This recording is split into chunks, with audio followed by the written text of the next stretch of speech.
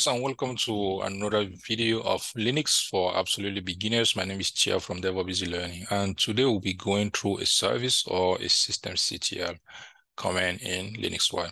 What is the purpose of the service command on and also a systemctl command? We basically use a service command or the systemctl command to start, restart, and also stop and enable a service or we some some people will call that a daemon in Linux, right? And a service is just, or a daemon is just a background process that is running to kind of keep something alive in Linux. Now, what will be the main difference between the service command and the systemctl command? The service command is mostly used for um, very old maybe Linux distribution like CentOS 6 or CentOS 5, stuff like Red Hat 6 or CentOS 6, CentOS 5, you can use a, service command. But if you want to work like the latest uh, uh, Linux distribution, like Red Hat is uh, maybe uh, Red Hat 8, uh, CentOS 7, CentOS 8, and so on, you will need to use a system CTL command, right? That means we basically we can just say that the system CTL command, it is just an enhanced version of the service command.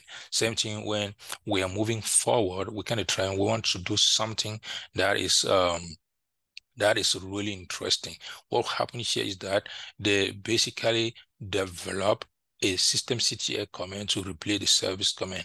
And at some point, I know for sure that they are going to decommission the service command because right now it is already deprecated, but it's not yet removed. That means Linux can still use this one.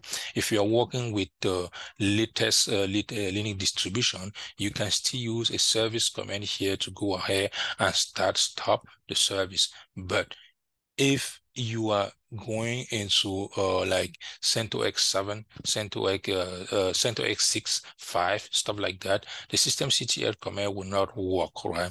Because I think this was initiated with CentOS 7 and going forward, we basically use the systemctl to start, stop, to start, stop, restart, and enable a service. But at some point for sure, they will go ahead and kind of remove uh, the service, the service command out of service because right now it is still working with uh, any issue unless uh, by the time that I'm recording this video, unless I'm mistaken, but I'll go ahead and check that. Now, how can you use that? If you're using this systemctl command, the systemctl command is used to manage services or daemon in Linux. That's what I just mentioned. We can say the systemctl start to basically start service. Uh, systemctl stop will stop the service. The status here will go ahead and kind of show you if the service is running or uh, it is stop and so on. And the restart will go ahead and restart that and the enable will go ahead and enable the service. Why are you going to, why do you really need to enable the service? You need to enable the service just in case uh, the server shut down, right? When the server shut down, and when that server is back, you want that service to keep running, to start automatically when the server boot up. Even on Windows operating system, you also have some program that you want those programs to start automatically when you boot up your Windows operating system and you just enable those by yourself. And during boot up process, as soon as your computer boot up, those programs are going to start automatically. And sometimes you need to go in there yourself and kind of uh, uh, cancel some because if you have a lot of programs that are going to start when you boot up your uh, Windows operating system, what will happen is that the boot up process will be a little bit slow slow, right? When you press the power button, it is going to take a while before uh, you can you can do something. Or Otherwise, why? Because when the operating system boot up, it basically have a lot of startup program right? In Linux also, a web server, stuff like this. If you want, like, let's say somebody reboot a server or stop, and when you start a server, you want this daemon to be up and running so that because that is what will keep something called like a web server alive, right? And if you're using something like the service command, you can go ahead here and use it the same thing. You just say service, the package, you stop, and service package, you stop, and so on. You can stop, you can restart, you can enable, and it's almost the same command. But this one here is used for um, most recent uh, Linux distribution, right? And this one is used mainly for like all old version of Linux distribution. Like I know when we're using uh, back in the day when I was still using like Red Hat 6, CentOS 6, stuff like that, the systemctl command won't work there, but it's going to work on on uh, like CentOS 7, CentOS 8 going forward, Red Hat 8 going forward, and you can use this to basically start and stop the service. Now, we'll be doing some uh, little hands-on here. What happened here is that I'm going to have a couple of hands-on here. We'll go ahead and install Apache, which is just a web server on um, on on on Linux Ubuntu operating system and I will go ahead and host a little website here. And when I will host that I will go ahead and kind of play with all this. How can you install Apache? I have a couple of comments here but you can also kind of just go to Google here and grab everything that I have here right? We need to make sure that we update our operating system. And when that is updated we'll go ahead and install the wget that we are going to use to uh, download uh, the web content from my S3 bucket. And also after that, we'll go ahead and install um, unzip that I'm going to use to kind of zip this, uh, to unzip this content. And here we install Apache 2 and we can navigate to where a web content supposed to to be. Let me go ahead here and kind of fire up all this command. You can copy everything here and you fire it up at once, or you can tab one after another. Let me go ahead here and make sure that I'm logging into one of our Linux server. I'll go ahead here and punch my password and I will switch as a root user. And I will just say sudo dash i to be root. And I'm going to punch my password again.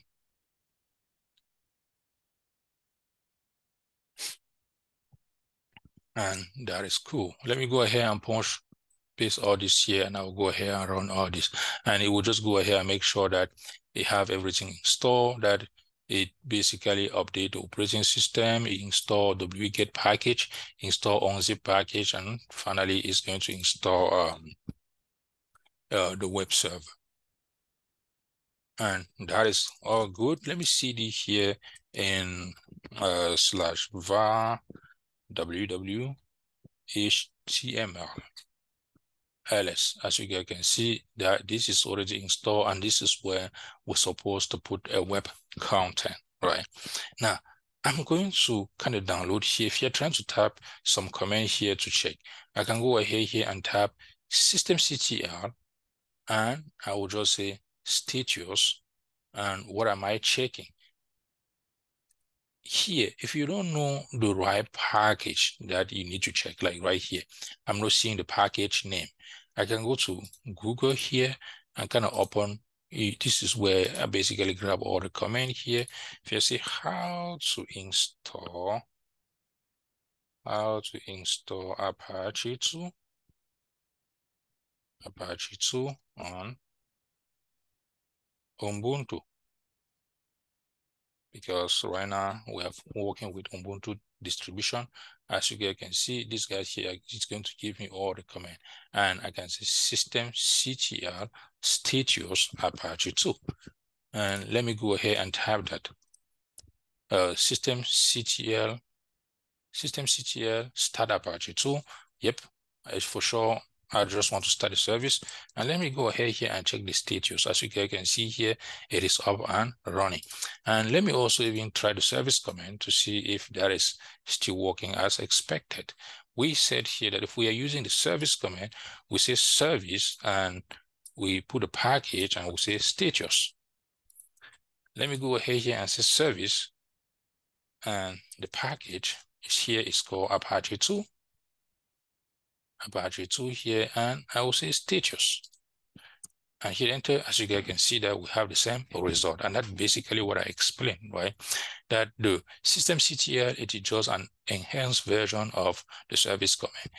Still, you can still use the service command to stop, start, restart, and enable a daemon without any issue or a process without any issue. As you guys can see here, if I use the systemctl and check the status, I can see here that it is running, right? And this is basically what keep the web server to be alive. Like right here, if you tab ls, this is where we need to put the web content. Let me go ahead here and I'm going to grab one of this content. This is just going to uh, download this thing from my S3 bucket and it's just a website that I zip it. Let me run that and it's going to download it. As you guys can see, I can use the unzip, uh, the unzip command line tool now to unzip this. If you unzip this, now that is cool. And I can say RM, have an RF. As you guys can see, I can go ahead and remove the zip file. I don't need that no more. ls. Now, if you say ls and say COVID, you will see that this is the index.html that the website is looking, right? What does that mean? I can go to my browser and type um, the DNS of this server, which is like what? Uh, it is server 4. It is server 4. Well, I didn't, haven't typed this thing already. Server four dot 4.anomicatech.com. Let me go ahead here and remove this, but it is server 4.anomicatech.com. If you say slash index.html, I mean index.html, and hit enter, it should be able to pull um, index.html. Yeah, that is wrong. Why? Because the uh, well, I need to specify a specific folder right? That is wrong. I type it wrongly. I need to say slash copy because I know that my website, it is stored in this folder. And within this folder, I have the index.html that the web server is looking. And if you hit enter here, it should be able to pull the website, just a little website here to check if somebody have copy or not, right? As you guys can see, it is able to pull the web content. Now, let us play a little bit with this and see what will happen. If you say system systemctl and I'm kind of trying to stop the service, for instance, that is status. If you stop the service, or I stop the service, the, the, the daemon that is running, and check the status again one more time. Uh, status, you can see here that it is dead. It is not running no more. What does that mean? This means this website also will be down. Why? Because the daemon that is keeping up the process, that is keeping up this uh, uh, web server, it is down, right? The website is down. What can you do here to troubleshoot this website?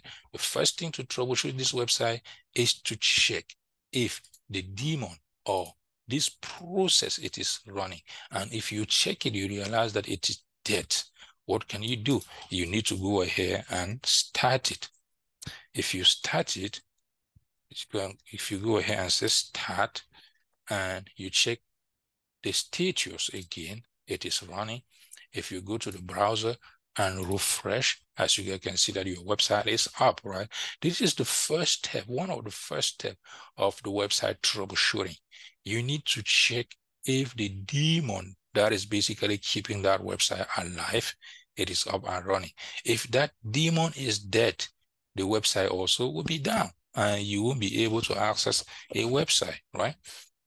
Let me go ahead here and kind of host another little one here. This one here, I'm just going to type uh, to copy everything here, download this, and I'll also unzip that. Here, run these two commands. Basically downloaded this, and we have another one here called article. If you see RM have an RF, I can go ahead and remove this. I can remove this and here ls. Now, if you go on the browser again and type slash article, because it also have one index.html in here that the website is that the web so it's like, the, the, the web server is looking. I mean, if you go ahead here and put this one also and go to the browser and change this thing instead of COVID, if you put article, it is going to pull another website. as you can see here, it basically pull another website that is hosted into this folder called article. And when we say COVID, it basically pull the one that we have in COVID and so on, right? As you can see here, if you just go ahead here and kind of stop the daemon, let me copy this. You guys see here. If you go ahead here, this one should be article, for instance. Let me take the article one again. And if you stop the daemon, none of this website will be up. Here, this, these two websites, they are up. If you refresh, no issue. If you refresh, no issue. But as soon as I basically stop the daemon. if you go ahead here and stop the daemon, the status, you guys can see it is running. Let me go ahead here and stop. And stop. Stop. Hit enter. As you can see, it's taking a while here to stop it. And when it will stop it, if you check the status, you guys can see that the daemon is dead. And when the daemon is dead, none of this website will be up. Look. See? This can be rich. This can be rich. And most of the time, when you are going, when you are out there also and you tap a domain name, you transfer, you say, you say um, www.devopseasylearning.com. If you see can be rich, that might be one of the reasons. It might be because we're updating the website. It might be couple of stuff, right? As you guys can see, the daemon here that is holding this one, it is not working no more. And if you go ahead here and start the daemon again, let me go ahead here and start, start, and go ahead and check the status. It is up and running. And if you hook over here and refresh, you guys can see that website is back. Refresh, this website also is back, right? That's it for this video, guys. If you like this video, please let me know in the comment below. And also, this is just a, a little bit short video to show you guys how to use a systemctl, the service command, and what will be the difference between the systemctl and the service command. But if you want me to deep dive a little bit into this web server stuff, how this web server stuff works, please let me know in the comment below and I'll go ahead and kind of create another video where I will deep dive I will deep dive a little bit and show you guys how to manipulate this thing, how to troubleshoot it, and so on. Thank you. Bye-bye.